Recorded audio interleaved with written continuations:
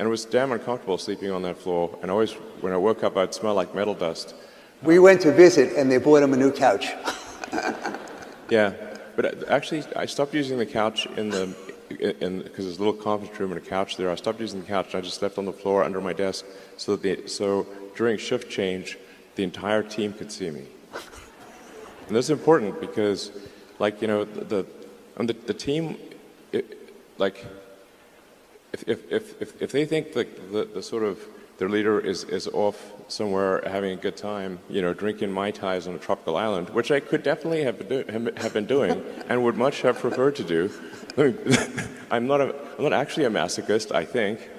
Um, but, but the thing is that since the team could see me sleeping on the floor um, during shift change, was just not, with nothing, um, they knew I was there.